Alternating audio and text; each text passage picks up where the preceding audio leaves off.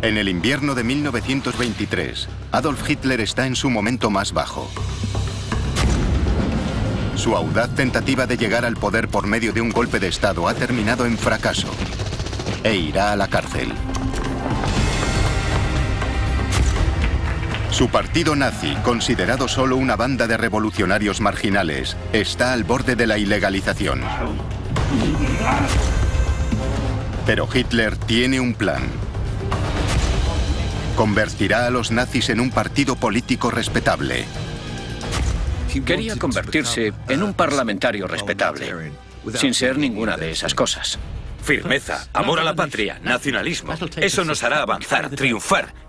Y lo consigue. Esta es la historia de cómo la reinvención del partido nazi ideada por Hitler y una catástrofe económica le abrieron las puertas para ganarse al pueblo alemán en cuerpo y alma.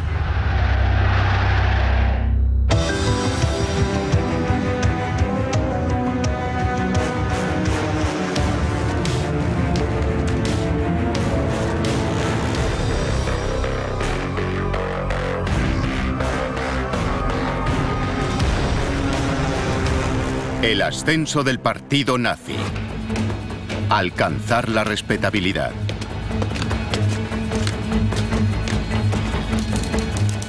Adolf Hitler comparece ante un tribunal acusado de alta traición. Cuatro meses antes, Hitler y su Partido Nacional Socialista habían intentado derrocar al gobierno alemán de Weimar en Múnich.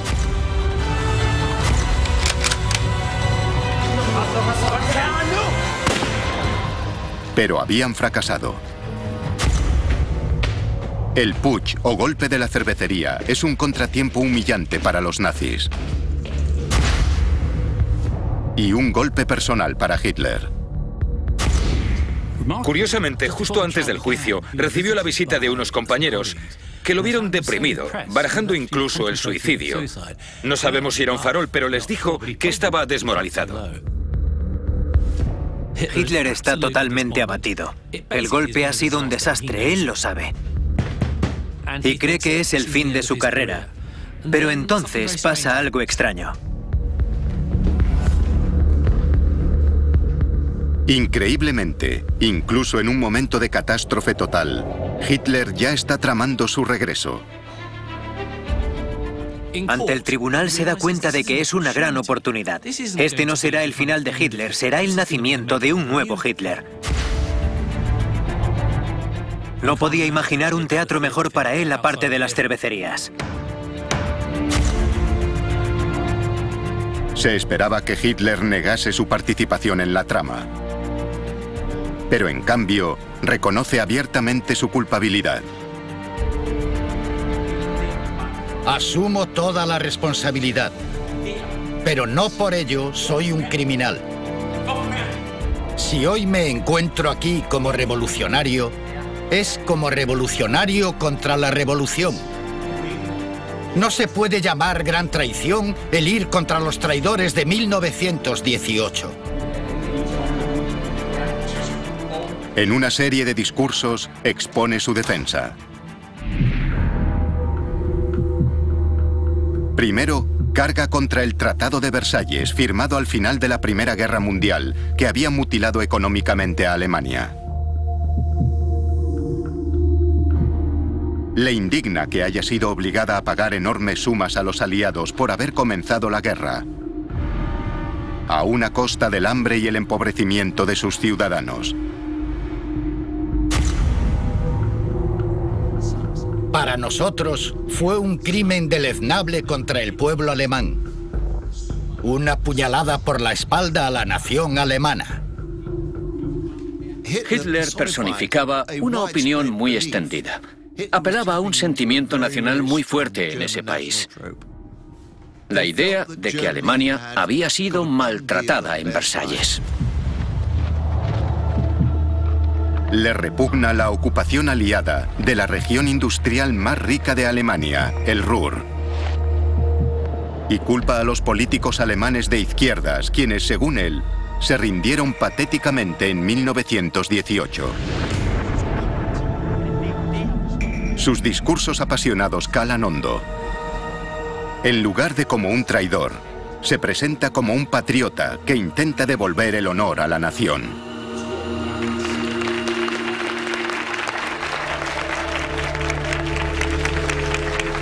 La idea de víctima de Alemania, la idea de que la culpa es de los aliados por las condiciones en Versalles, y el hecho de que el propio gobierno de Weimar sea incapaz de responder a las demandas del exterior y no muestre capacidad para liderar a Alemania como se merece, consigue despertar simpatías hacia él.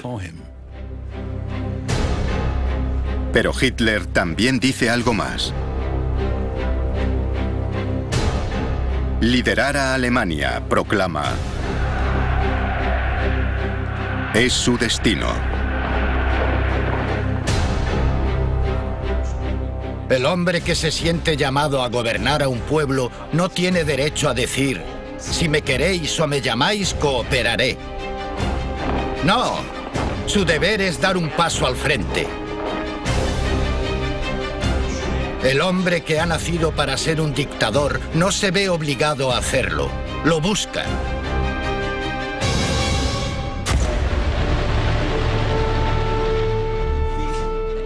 Las intervenciones de Hitler son tan fascinantes que llegan a los titulares no solo de Alemania, sino de todo el mundo.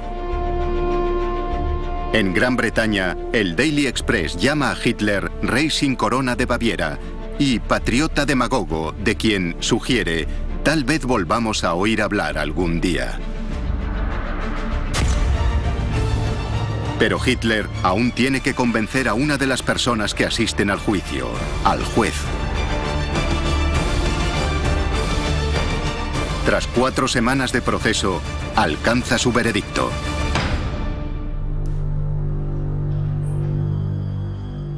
Por liderar un intento de golpe de Estado, Hitler es condenado a cinco años de cárcel, una pena muy corta. Tiene suerte de que no lo condenasen a muerte.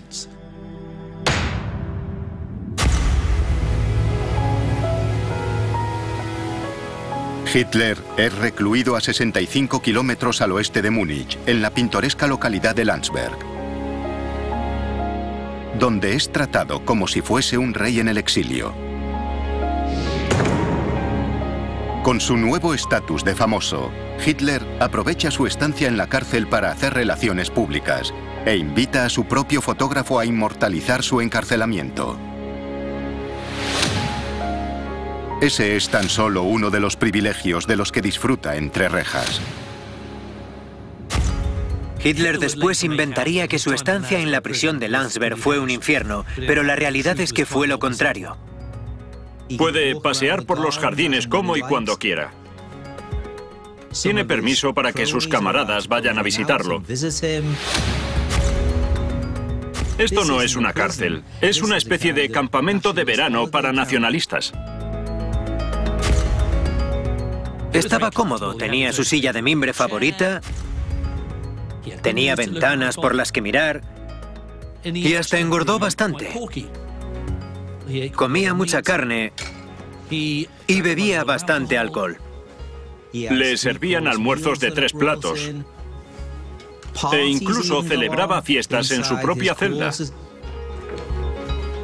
Podía relacionarse con sus amigos y también escuchar música.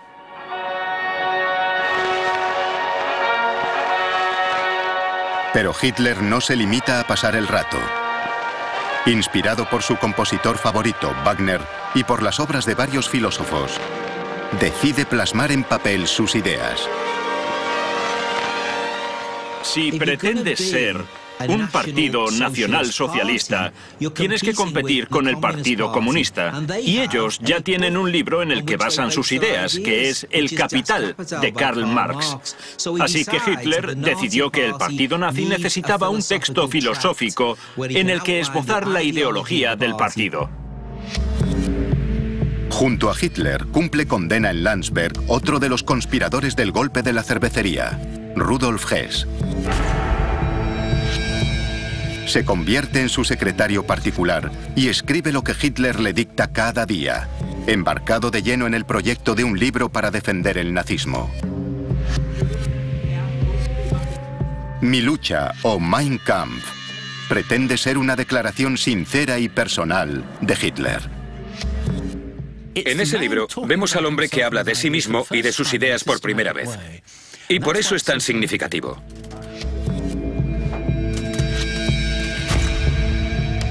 Anécdotas distorsionadas sobre la infancia de Hitler, su juventud en Viena y sus experiencias de guerra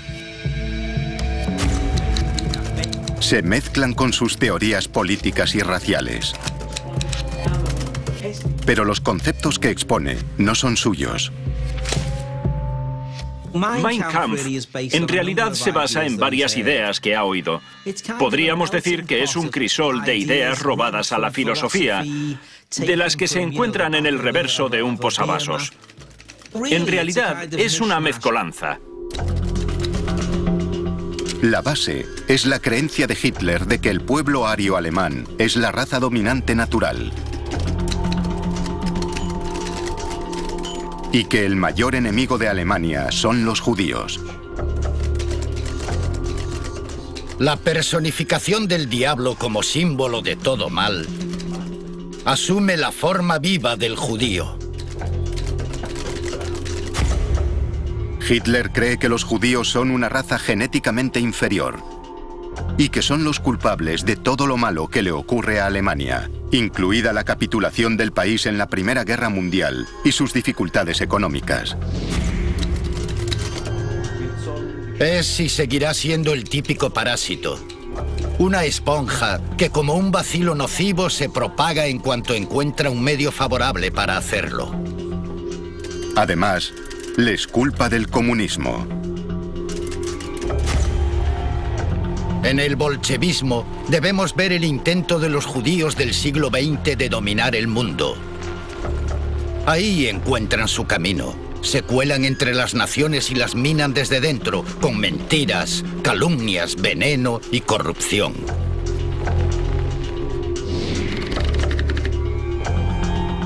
Mein Kampf contiene incluso una aterradora advertencia sobre las intenciones de Hitler. La totalidad del texto está escrito con un lenguaje increíblemente violento. Página tras página asistimos a un lenguaje de erradicación, aniquilación, destrucción, exterminación. Hitler cree que la única forma de resolver el problema judío es destruir al parásito judío.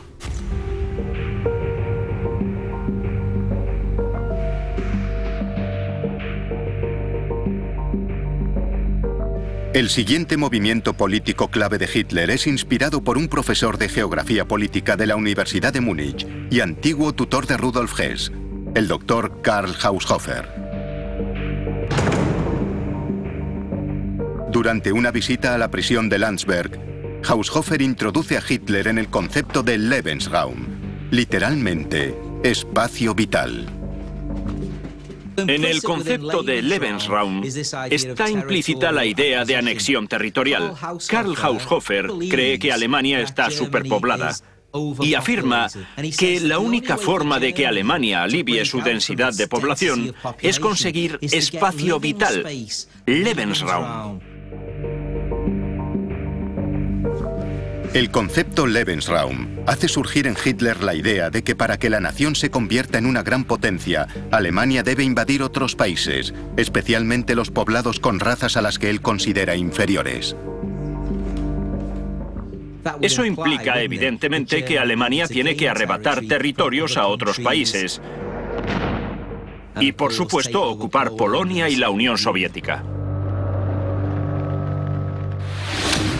Las reflexiones de Hitler sobre el Tratado de Versalles. La destrucción de los judíos.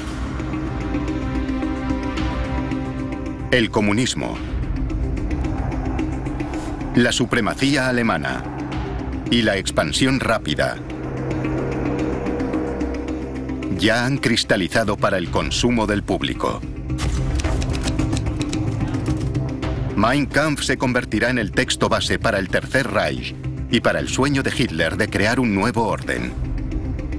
Ahora solo tiene que conseguir que llegue al pueblo alemán.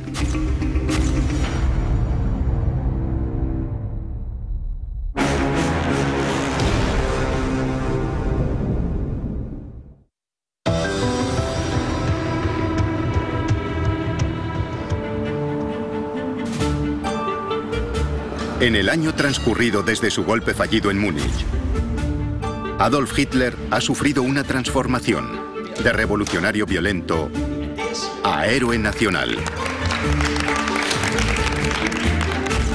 A pesar de haber sido condenado a prisión por intentar derrocar al gobierno alemán de Weimar, gracias a su recién ganada popularidad, ha convertido su estancia en prisión en una ofensiva de relaciones públicas. Y ha escrito un libro con el que espera transmitir su mensaje al pueblo alemán. Cárcel de Landsberg, 20 de diciembre de 1924. Ahora, tras cumplir solo nueve meses de una condena de cinco años, este hombre de 35 años es puesto en libertad. Pero si aguardaba una horda de simpatizantes a las puertas de la cárcel, no los encuentra. En su lugar, Solo un coche ha venido a recogerlo. ¿El motivo? Alemania vive una época de prosperidad. El gobierno democrático ha pedido prestados miles de millones para pagar la deuda de la guerra. Ahora, el país crece gracias al dinero extranjero, en especial de los Estados Unidos. Mediados de los años 20 es la época dorada de la República de Weimar. Los estadounidenses les dieron muchos préstamos y gracias a ello Alemania revive. La economía alemana mejora lo suficiente como para que parezca que el gobierno democrático de Weimar empieza a funcionar. Por fin, parece que los días de sufrimiento han terminado. Todos lo ven como un periodo para empezar de nuevo. Tras la turbulencia de la hiperinflación, las cosas mejoran. La gente está satisfecha en general con el sistema político, siempre y cuando haya mercancías, siempre y cuando haya crecimiento y estabilidad. Pero para Hitler, toda esa prosperidad es desastrosa.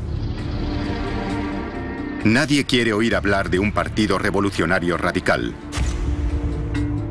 sobre todo de uno que pretende llegar al poder por la fuerza.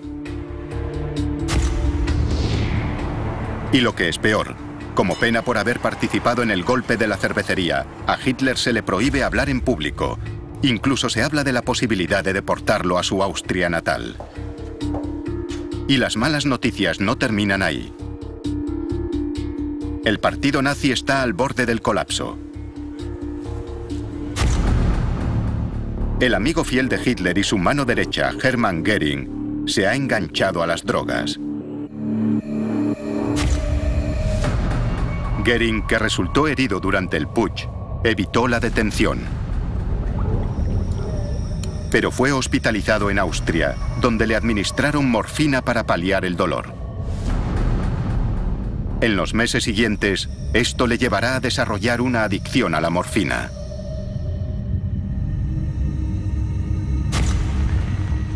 Mientras tanto, el periódico del partido ha sido cerrado por orden del Estado. La militancia del partido nazi, que había alcanzado los 55.000 afiliados en 1923, ha perdido más de la mitad de sus miembros. Y en las elecciones de diciembre de 1924, los nazis sufren una gran derrota. Solo consiguen el 3% de los votos. El partido ha sufrido la ausencia de Hitler y la transformación de la opinión pública. Era un declive natural. Si el hombre que había creado el partido no estaba, tenía que producirse el declive. Y si añades a eso la recuperación económica, el nazismo no tenía el atractivo que tenía antes del putsch. Hay algo más humillante si cabe. Cuando se publica Mein Kampf, el manifiesto autobiográfico de Hitler, es un fracaso editorial. Vende solo 10.000 ejemplares. Ni siquiera todos los nazis compran uno. Para Hitler, este es un momento de crisis. Su partido está al borde de la extinción. Si quiere revertir la situación, algo tendrá que cambiar.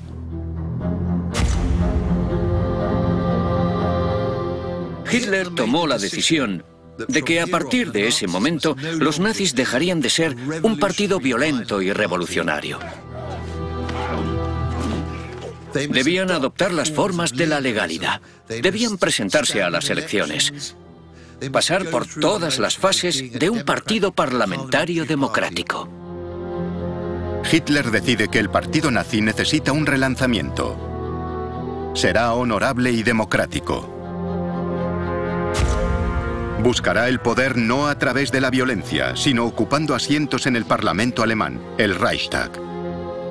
Quería adoptar el manto de la respetabilidad y convertirse, al menos en apariencia, en un parlamentario respetable, sin ser ninguna de esas cosas. A puerta cerrada, Hitler explica a su círculo íntimo. Tendremos que taparnos la nariz y entrar en el Reichstag. Si tardamos más en ganarles por votos que disparándoles, al menos los resultados respaldarán su propia constitución. Tarde o temprano tendremos la mayoría. Y después de eso, nos haremos con Alemania. Hitler comienza a desarrollar la táctica que finalmente llevará a su partido al poder. De cara a la galería, él y los nazis aparentan respetabilidad mientras que de puertas adentro siguen fieles a su plan violento y extremista. Y el primero en prestarse al cambio de imagen del partido será el propio Hitler.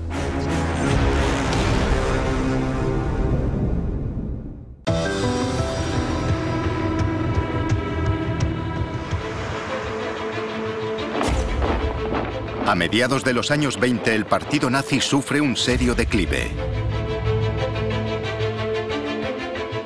Adolf Hitler sabe que para llevar a su partido al poder, tendrá que intentar una táctica legítima. Los nazis necesitan librarse de su imagen de matones, violencia y revolución. Tienen que ser considerados respetables y democráticos. Tiene que parecer que trabajan dentro del sistema político y que son un partido político real y creíble, y no solo unos lunáticos que intentan hacerse con el poder en las cervecerías de Múnich.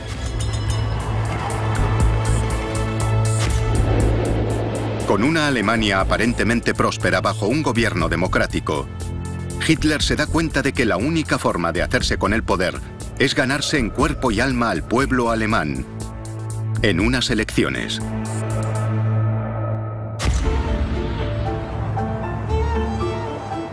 Para comenzar su ofensiva amable, el partido nazi necesita un cambio de imagen, que comenzará por el propio Hitler. Acude en busca de ayuda al gurú del Lebensraum, el doctor Karl Haushofer.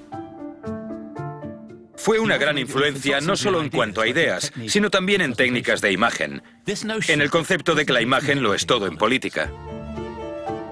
Haushofer ayuda a crear una serie de imágenes nuevas para Hitler, para que llegue al mayor número posible de alemanes. Tiene para elegir entre la imagen tradicional alemana con los Lederhosen, las medias y los zapatos de montaña que atrae a cierta parte del electorado. También puede parecer mucho más tecnocrático con un traje elegante y formal. Y si participa en un desfile nazi, irá de uniforme. Pero no es solo su imagen lo que Hitler quiere mejorar. Para mantener la cabeza despejada y proteger la voz tras los largos discursos, Haushofer sustituye las jarras de fuerte cerveza bávara que tomaba Hitler por tazas de infusiones. Pero lo más importante, Prepara a Hitler en el arte de hablar en público. Le enseña a gesticular para enfatizar sus argumentos y aumentar su autoconfianza. Le enseña a cómo dar un discurso, a quién dirigirse y a ajustar el tono, el ademán, el estilo al público para ganárselo. Empieza practicando frente al espejo. Practica todos sus gestos frente a un espejo. Ensaya ese gesto en el que echa la mano hacia atrás y las pausas que hace en los discursos.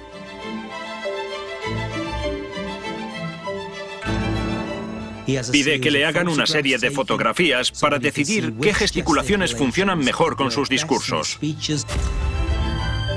Está muy centrado en lo de la imagen. Es fácil despreciar eso y decir que es vanidoso y que denota autoobsesión. Y Hitler era así. Pero al mismo tiempo tiene todo el sentido.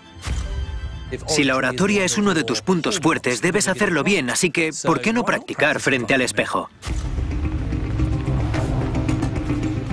Con una imagen nueva y reluciente, Hitler necesita a alguien que se la venda.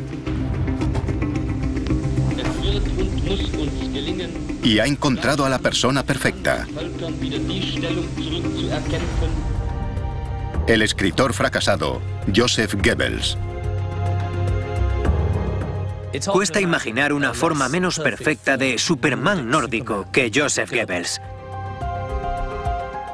Si hay alguien que no parece un nazi, ese es Goebbels. Es bajo, delgado, físicamente imperfecto porque padece pie equino y además es bastante feo.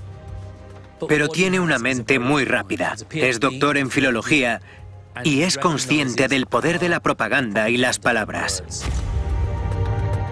acomplejado por su altura, su discapacidad y porque el ejército alemán lo rechazó por ello, él también desprecia al gobierno de Weimar. Había nacido en una familia católica muy pobre, pero había roto con la iglesia. Era un hombre de gran inteligencia y talento, pero que buscaba una dirección. Su don para la adulación es lo primero que llama la atención. En una carta inspirada por los discursos de Hitler durante su juicio por el putsch de la cervecería, Goebbels escribió Como una estrella en ciernes apareciste ante nuestros ojos. Hiciste milagros para aclarar nuestras ideas. Y en un mundo de escepticismo y desesperación, nos diste fe. Diste voz a la necesidad de toda una generación. Un día Alemania te dará las gracias. Pero no conocería a Hitler hasta 15 meses después, en verano de 1925. Y entonces escribiría, es todo lo que esperaba, era todo lo que él había esperado y más. Cuando cayó bajo el embrujo de Hitler, se prendó de él como una colegiala. En una entrada de su diario el 23 de noviembre de 1925, Goebbels escribe ¡Qué alegría! Me saluda como a un viejo amigo, como lo quiero. Me ha dado una foto, con una dedicatoria a la región de Renania. Heil Hitler.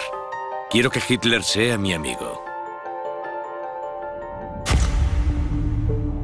Para cambiar la imagen de todo el partido nazi, Hitler sabe que necesita la ayuda de un hombre como Goebbels. Muchos miembros del partido nazi consideraban a Goebbels el más brillante de todos. Era muy ingenioso, no tenía esa forma prusiana un poco cuadriculada de hacer las cosas siguiendo el manual. Es un gran trabajador. Es un hombre de una enorme energía, dispuesto a trabajar muchísimas horas y a viajar incesantemente. Es una figura de muchísimos recursos.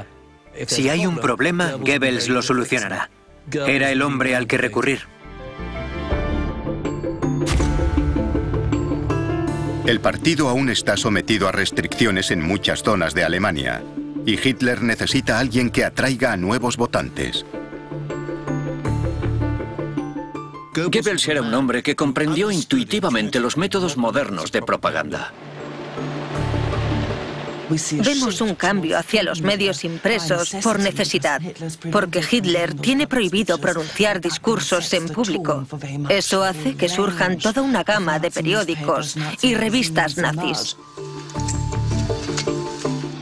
Los nazis, en este momento, están a la vanguardia en el uso propagandístico de panfletos, de revistas ilustradas, carteles electorales.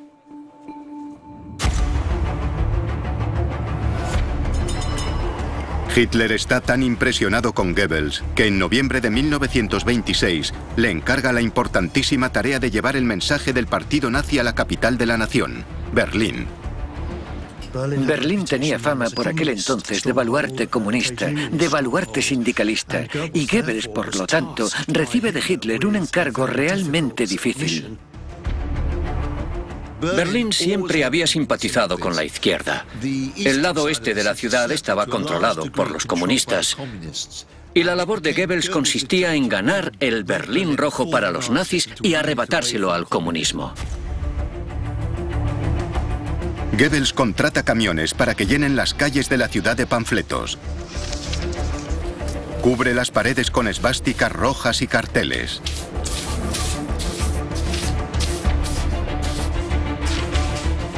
Y utiliza su periódico berlinés, The Angriff, El Ataque, para llevar la ideología política de Hitler a las masas.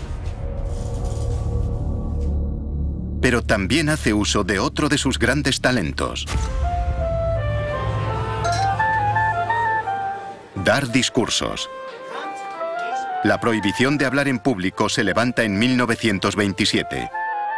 Goebbels se convierte entonces en orador habitual de los nazis. Solo Hitler le superaba en el arte de hablar.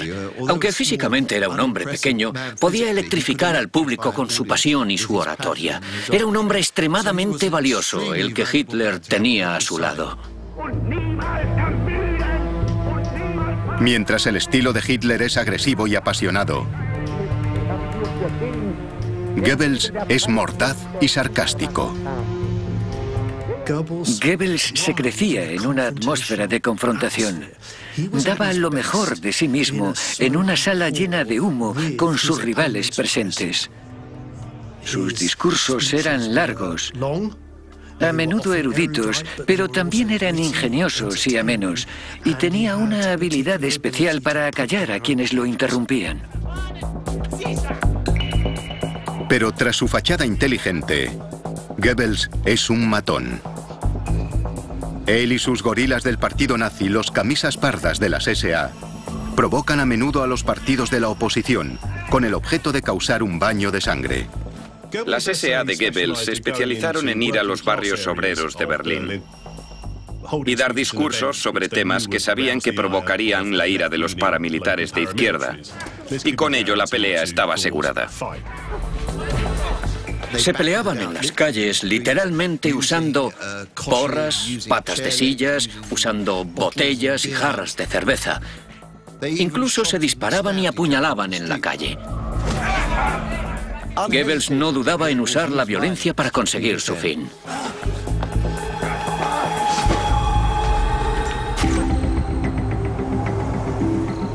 Mientras Goebbels está ocupado con la capital de Alemania, en Múnich, Hitler trabaja en los últimos retoques de su imagen. Quiere algo que lo distinga. Como aspirante a dirigir Alemania, pretende crear su propio cuerpo especial de guardaespaldas. El grupo obvio entre el que reclutarlos serían los camisas pardas de las SA, pero están considerados demasiado burdos. Necesita algo más de élite. Más presidencial. Nacen las Schutzstaffel, la nueva fuerza de protección de Hitler, o las SS. Las SS representan el ideal de la virilidad alemana. La afiliación está restringida solo a quienes tengan un árbol genealógico ario que se remonte al siglo XVIII.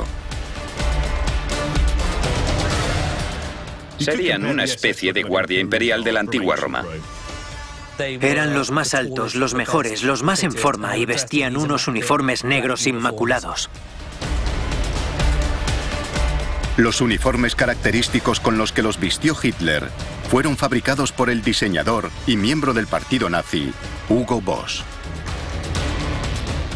No hay nada más impactante en la propaganda nazi que el uniforme de las SS.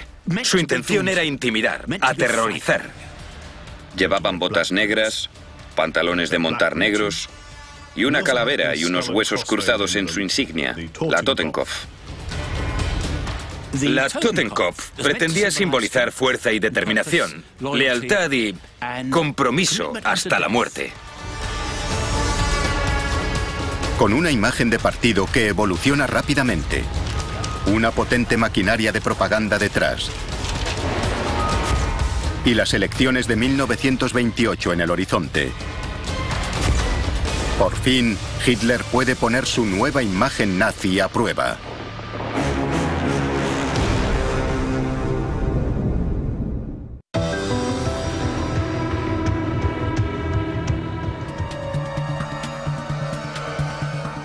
Con una nueva imagen, una nueva propuesta democrática y el levantamiento de la prohibición de hablar en público, los nazis concentran todas sus energías en disputar las elecciones de 1928.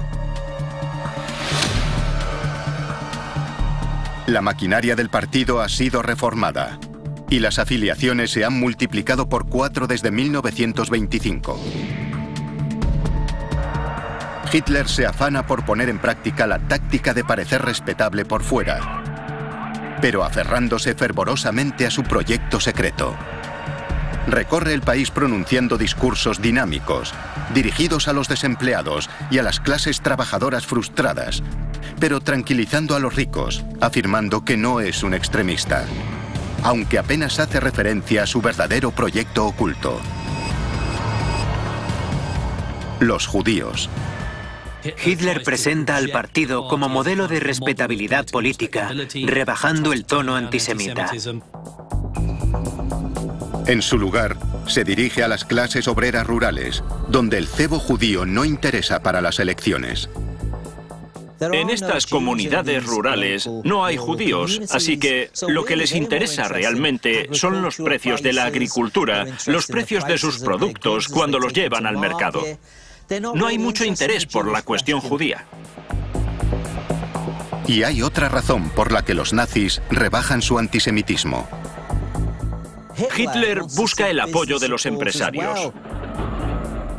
La mayoría de las empresas alemanas que exportan y realizan intercambios con otros países lo hacen con personas que son judías. El argumento político central de Hitler no es el racista, sino el económico. Advierte de que el boom de la economía del país ha sido propiciado por el dinero estadounidense y si este faltase, Alemania se colapsaría. La frase que Hitler usa en algunos de sus discursos es Weimar está bailando sobre un volcán y que toda la prosperidad se debe únicamente a los préstamos. Con el tiempo, todo se vendrá abajo y Alemania volverá de nuevo a un estado de depresión por haber confiado en los préstamos estadounidenses.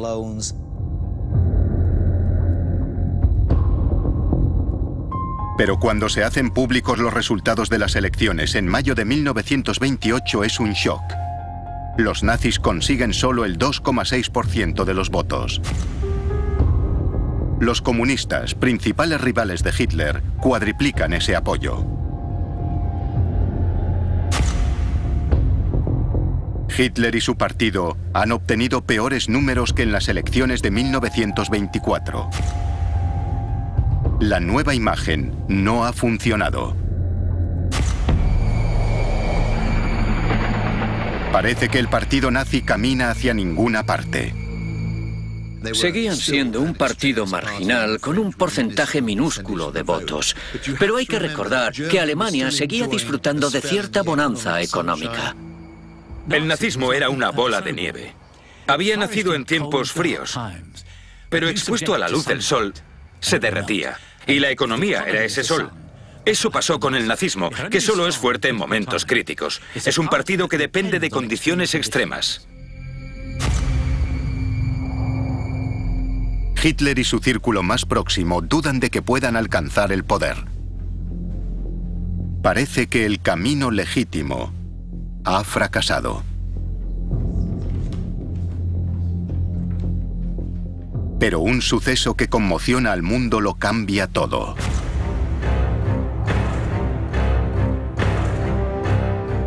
El 24 de octubre de 1929, el mercado de valores de Wall Street se desploma. Tal y como Hitler había predicho, los bancos estadounidenses reclaman sus préstamos en un intento desesperado por salvarse. Cuando los Estados Unidos tuvieron problemas, se retrajeron, dejaron de comprar, dejaron de prestar dinero y todos los países sufrieron porque estaban conectados a un sistema internacional. La Gran Depresión es testigo de cómo innumerables negocios prósperos se declaran en bancarrota en todo el mundo.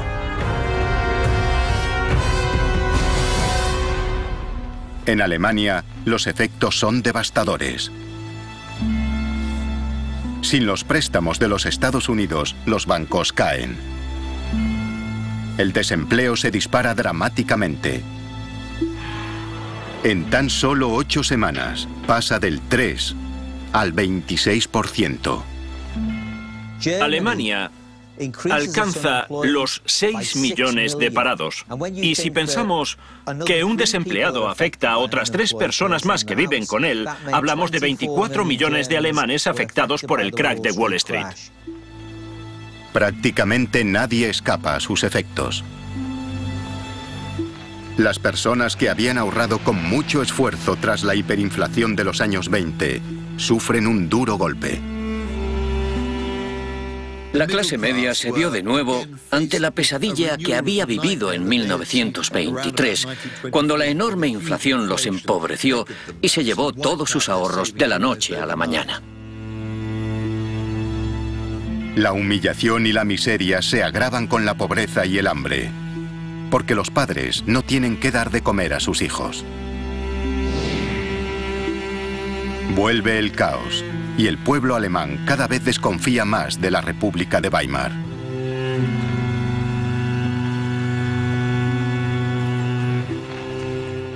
Alemania está en una situación terrible, que se ve en lo que ocurre muy rápidamente. El hambre, la pobreza y la desesperación llegan a Alemania. Del crack de Wall Street surgen las semillas que alejarán al país de la democracia y lo acercarán al partido nazi. Un hombre ya había predicho todo esto. De repente, la gente lo ve de otra manera. Adolf Hitler ya no es un extremista radical. Es un profeta.